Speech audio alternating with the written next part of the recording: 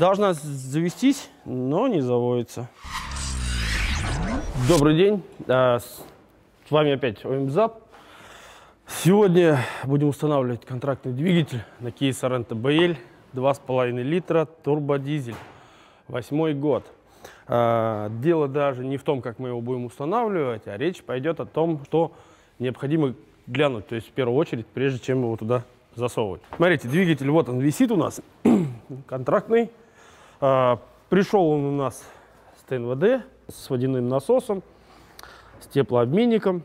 Первое, на что необходимо обратить внимание, это топливные форсунки. То есть в одной из шахты четвертой была сгоревшая шайба, то есть внутри в шахте была сажа. Вычистили всю сажу, сделали фрезеровку шахт. Если в шахтах была сажа, обязательно вскрытие поддона. Неважно, одна форсунка, две там шайбы сгоревшие. Согласовывайтесь, где приобрели. Открываем поддон и смотрим наличие сажи, стружки. Бывает, что мотор перебирался и какие-то остатки герметиков, маслозаборники или что-то еще. Вот, поддон мы здесь скрыли, все проверили, все чистенько. Шайба была всего одна, сгоревшая на моторе. По цепи ГРМ тоже согласовываем и вскрываем только верхнюю крышку. 9 болтов и смотрим, насколько у нас э, износ цепи. Нижнюю нам уже не дадут скрыть. Смотрим сразу шкивы, ролики, насос, не подтекало ли. Здесь поставили китайскую турбокомпрессор. Здесь и есть такой нюанс, что вот эта улитка она стоит обычно неровно. Вот этот штуцер, давление подачи, давление масла, должен стоять по центру. Это на Kia Sorento. Если это Hyundai Grand Starex, то она будет чуть-чуть вовнутрь, то есть где-то примерно вот здесь. И еще это ряд моментов при установке любого двигателя. Если у нас коробка автомат, неважно, даже если у нас механика, маховик, крепление болта совмещаем вниз, Потом здесь, на коробке, гидротрансформатор тоже совмещаем по центру. Потому что если вы не совпадете, вам опять придется потом мучиться и отталкиваться. Очень часто допускают ошибочки. Также, то есть, опять мы его прокручиваем, сажаем до конца. Тоже часто происходит такое, что если он не сел, то раздавливает потом болтами. Еще момент, то есть направляющие, тоже всегда смотрим, где они и сколько. Потому что а, в коробке свои остаются, на двигателе свои. Потом мы пытаемся его вставить, но он у нас не встает. То есть направляющая у нас здесь получается справа, а здесь слева она была, я ее снял.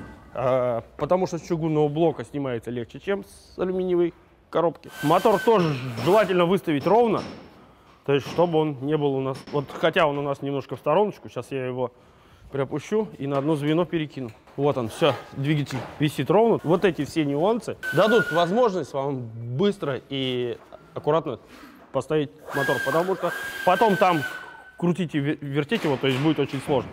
Все, готов, будем сейчас вставлять. Возьмем напарника, который нам сейчас поможет.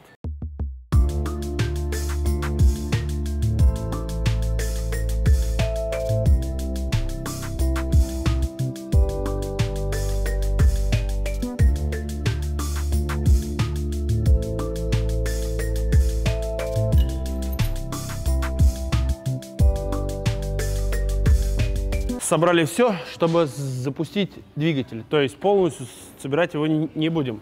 Мало ли, где-то какая-то течь масла э, или какой-то там нехороший стук, и надо будет, допустим, разбирать или снимать опять.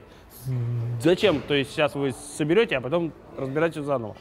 Смотрите, самое главное, что если у вас автомат, то мы э, радиатор идет шланчик, мы его закольцовываем Первое, что нужно, неважно, бензиновый или дизельный, отсоединяем. То есть, либо мы отсоединяем там катушки, чтобы искры не было, либо, допустим, вот этот форсунок. Если движок там стоял полгода, год, два, три, а, даже будет отсутствовать компрессия или будет низкая компрессия в одних там из цилиндров.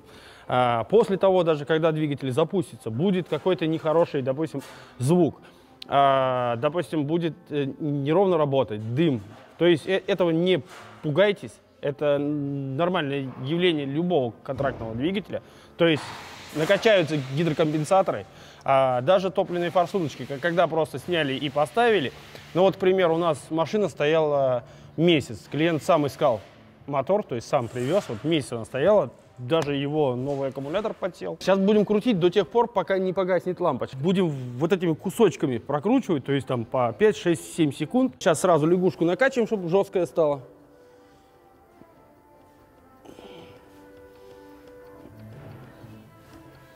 Не накачивается. Сейчас мы прокрутим стартером, и она накачается. Ну вот смотрите, сейчас вот здесь вот как раз послушаем звук. То есть вообще в целом, то есть э, это будет сейчас вот первый, можно сказать, запуск, мы его не заводили, и сейчас сами все услышите. Ну вот сейчас мы прокрутили первые ага, 5-6 секунд. Судя по звуку, а, в каком-то из цилиндров а, низкая степень сжатия, то есть э, это не накачанные гидрокомпенсаторы. Поэтому сейчас при запуске а, он запустится там на одном, двух, трех цилиндрах, будет наличие сизого дыма, то есть трубы у нас, и, скорее всего, неровная работа двигателя. Подкачка все накачала, сейчас еще также крутим, а потом будем заводить.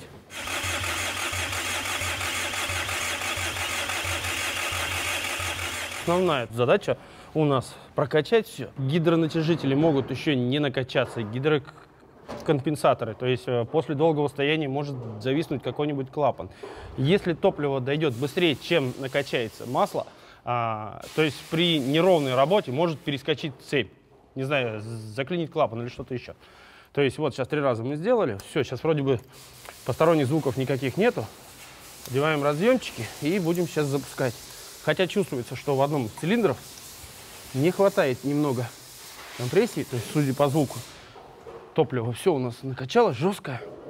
Смотрите, охлаждающая жидкость нам не нужна. Дело в том, что двигатель, данный двигатель считается холодным. Он э, в процессе работы пользуется неограниченным количеством воздуха. То есть он охлаждается большей частью. То есть он смело может проработать там 10, 15, 20 минут, и с ним ничего не случится.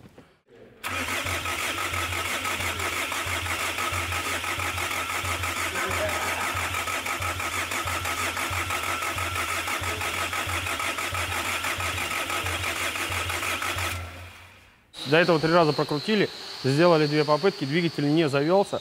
Не стоит, опять же, бросаться в панику. Причиной может быть наличие накопленных ошибок, то есть и они не дадут нам запустить двигатель.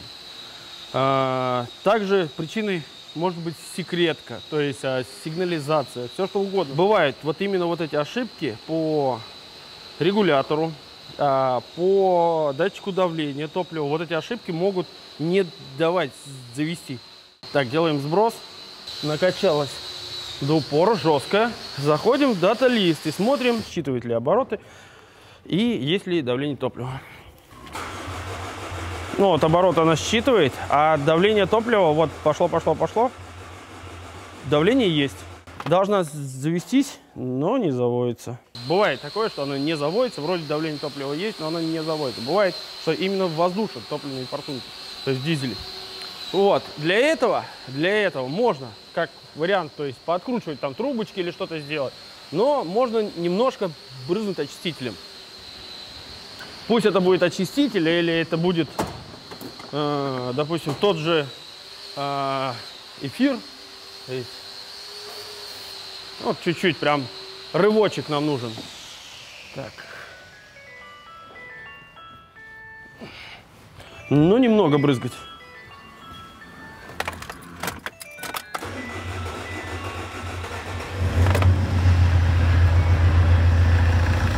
Ну вот, видите, а, датчик давление или форсунки залипли совсем чуть-чуть, совсем чуть-чуть, нам и у стартера не хватало оборотов, чтобы дать давление на, то есть для запуска чуть выше. И вот мы, мы прям чуть-чуть раскрутили, и он раз сразу завелся. То есть без всяких проблем. Вот он у нас работает.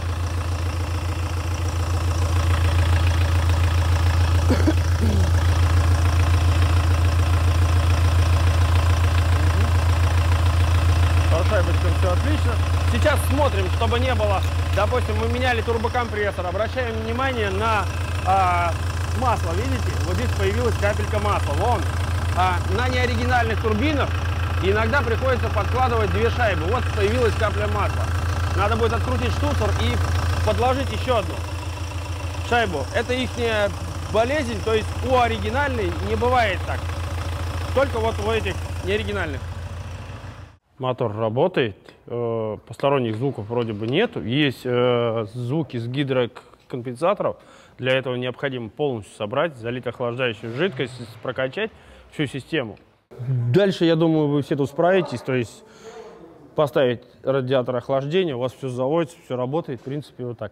Ну, это сейчас, то есть, был рассказ о том, как избежать ошибок при установке, чтобы не испортить мотор на ранней стадии, поставить его быстро и качественно, то есть вот эти все нюансы. Неважно, какой у вас мотор, бензиновый, дизельный, то есть одни и те же нюансы, то есть практически в любом. То есть это соединение с коробкой, это запуск, это прокачка турбины, прокачка гидронатяжителей и так далее, так далее. Ну все, до новых встреч!